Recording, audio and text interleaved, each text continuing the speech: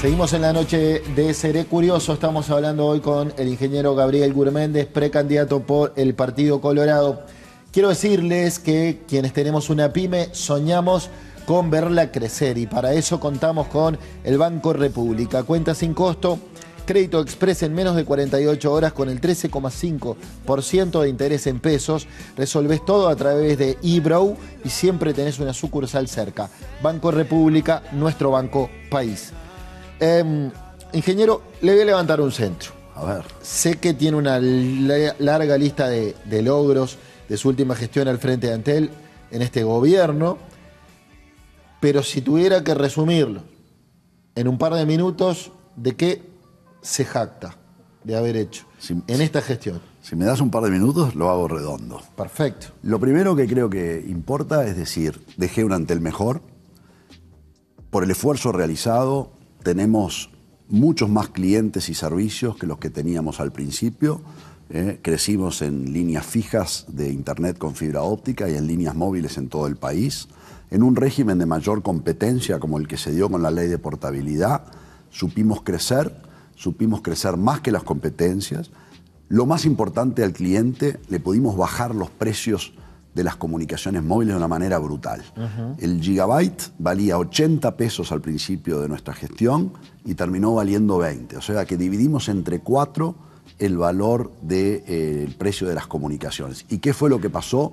La gente usó cuatro veces más, lo que es lógico. O sea, más clientes, más uso, se mejoró la calidad del servicio, pegamos un salto en el ranking mundial de casi 40 lugares de velocidad de Internet. Trajimos la última tecnología disponible en materia mundial, que fue el 5G.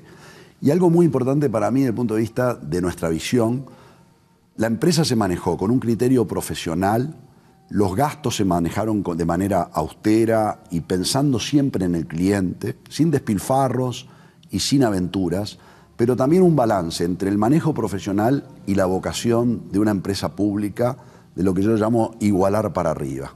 Quizá el logro más importante fue haber accedido a la universalización del acceso, que haya equidad en el acceso a los servicios, especialmente con el interior.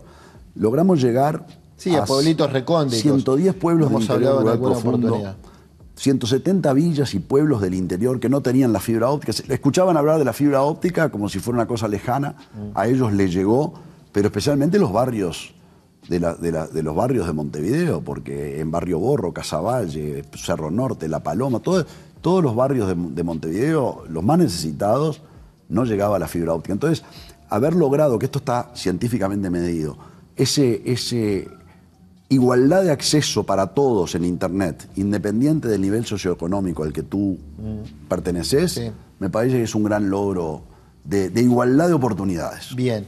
Y ahora que ya no es más presidente de Antel, es dirigente político, eh, ya no tiene bozal para analizar la realidad del país mm. y lo que ha sido el gobierno y la oposición, que durante todo este tiempo por inhibición constitucional no podía expresarse. No podía hablar nada de política. Por eso. Eh, y lo respeté a rajatabla. Me consta, me consta. ¿Cuáles han sido, a, su juicio, los grandes logros de este gobierno?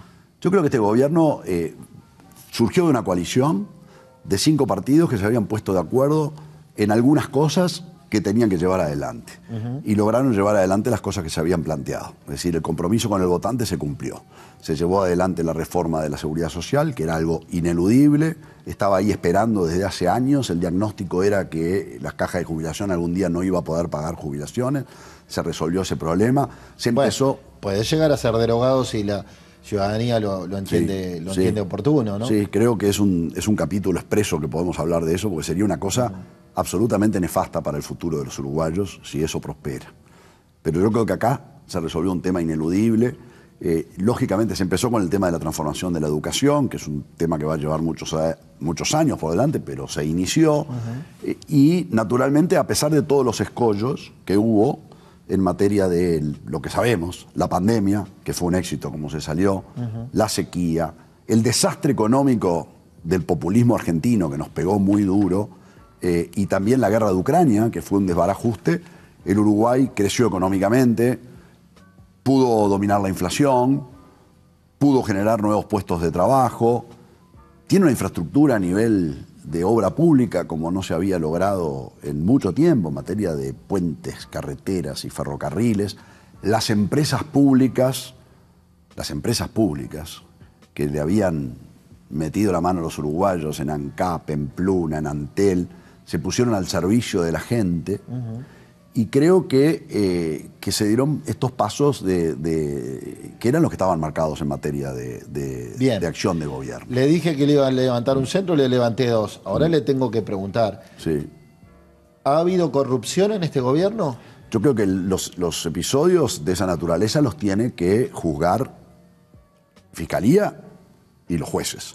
Sí, una fiscalía que vemos mm. Que de momento se está para un lado o para el otro, ¿no? Ah. Que están divididos, algunos entienden que son los pro días o los antidías. Por otro lado, un ex presidente del directorio del Partido Nacional que dice, esta fiscal es nuestra, vamos a presionar para que ella agarre nuestro caso.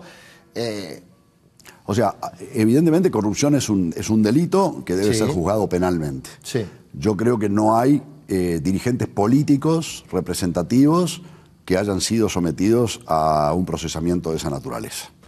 Eh, existen funcionarios públicos cuyas conductas por distintas naturalezas se le pueden atribuir manejos irregulares, no son personal político de gobierno del máximo nivel eh, y naturalmente que uno eh, reprocha cualquier conducta de esa, de esa naturaleza. Y precisamente si hay algo claro que me parece que la gente, por lo que va a votar en la próxima elección, es por personas que puedan caminar por la calle sin que haya señalamientos éticos. Igual hubo dirigentes políticos en la picota, ¿no? Sí, pero no por corrupción, que fue lo que dijo. Bueno, pero, pero por amiguismo, por clientelismo, pienso en Irene Moreira y las entregas de viviendas de forma este, discrecional. Es un proceso eh, que está en marcha, ¿no? Sí, sí. Pienso en el descabezamiento del Ministerio del Interior con Heber y, Maciel. Mm. Pienso en Bustillo. Bueno, esos fueron, Pienso en, la esos fueron, esos fueron todos cuestionamientos políticos que se hicieron respecto a conductas en las que no se ha tipificado ese delito que Pero más allá del delito. ¿eh? Más allá del delito, de repente sí podemos convenir que hubo irregularidades. Mira, yo este, afortunadamente lo que puedo decir es cómo uno actúa. Es decir, eh, yo quiero, estoy trabajando políticamente con un grupo de personas eh, que nos acompañan y que nos dan apoyo que son gente experiente, solvente en temas de gobierno, y creo que afortunadamente puedo decir que las personas que me acompañan no tienen un señalamiento eh, por su trayectoria previa de esta, de esta naturaleza. Eso es muy importante para inspirar la confianza de la gente en el gobierno que viene. Igual que cuestiono aspectos vinculados a conductas dentro de mi propio partido. ¿Eh? El caso del Ministerio de Turismo, claramente, es algo, es algo, que eh, yo claramente, el departamento de Maldonado, tengo una posición donde la gente que nos apoya a nosotros en nuestra candidatura claramente quiere hacer un partido distinto, que no sea más de los mismos ni más de lo mismo. Es un estilo de conducción política mm. que para nosotros eh, queremos dejar atrás. Eh, ¿qué, postura, ¿Qué postura tiene respecto al peso que debe tener el Estado en el gobierno de un país? Porque dijo en, en perspectiva, nuestro liberalismo no reniega del Estado, solo proponemos reducirlo donde no hace falta. ¿Cómo es esto?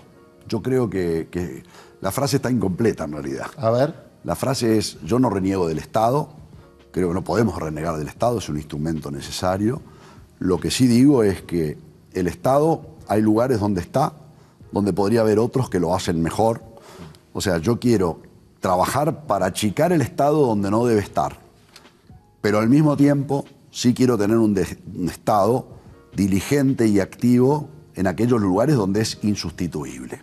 Es decir, hay, roles para el Estado que todos queremos preservar y donde es necesario. Y muchas veces los problemas más importantes que tenemos los uruguayos tienen que ver con eso. La enseñanza, la, salud pública y después la defensa de, la vida, que es en definitiva la seguridad. O sea, eh, creo que ese es, mi, mi, visión del mundo, ¿verdad? Es decir, soy partidario de la más amplia competencia en materia económica. Estoy en contra de los monopolios de los monopolios públicos y de los monopolios privados. Dicho sea de paso, propuso desmonopolizar los combustibles, ANCAP. Yo siempre fui partidario de la competencia en la mayor cantidad de mercados. Los uruguayos han visto que cuando hubo competencia y se acabaron los monopolios, nos beneficiamos los uruguayos, los consumidores, los de a pie. En materia de, telefonía y telecomunicaciones, ya que hablamos un rato, eso es, es evidente. O sea, la competencia permitió que tengamos libertad para elegir modelos. En materia de seguros, que fue una experiencia que el Uruguay vivió hace unos años, cuando se eliminó el monopolio del Banco de Seguros en materia de, de póliza de vehículos, ¿qué fue lo que pasó? Bajaron los precios, nos beneficiamos todos. Con el combustible pasa lo mismo y va a pasar lo mismo. Es bueno para los uruguayos en un país que está caro para la vida de la gente y está caro para los que producen lograr que la competencia haga su trabajo para tratar de abaratar lo más que pueda. El gran, el gran dilema del Uruguay es que tiene que despegar económicamente. Nosotros tenemos que crecer económicamente para poder ofrecerle a la gente oportunidades de trabajo, oportunidades laborales. Eso se genera abaratando los costos de producción. Si el Uruguay sigue siendo caro, eh, la gente la pasa mal y la producción no genera eh, los puestos de trabajo que se necesitan porque tenemos que competir en el mundo. Entonces, aquí hay algo que, que para mí fue la primera propuesta que yo hice, la primera de todas, fue vamos a ahorrar en el gasto público para poder reducirle impuestos a la gente. Mi primera propuesta fue trabajemos para la gente. ¿De qué manera? Me comprometí a reducir impuestos, el IRPF y el IAS por 500 millones de dólares anuales. Déjele ahí, porque es un buen gancho para que, para que vuelvan después de la tanda. Y además tenía pensado preguntarle a propósito de, esa propuesta que, vamos a decirlo, es, es simpática y cae muy bien quiero que me cuente cómo va a hacerlo. Eso va a ser en un instante cuando volvamos a continuar esta charla con el ingeniero Gabriel Guzmán. Ya venimos.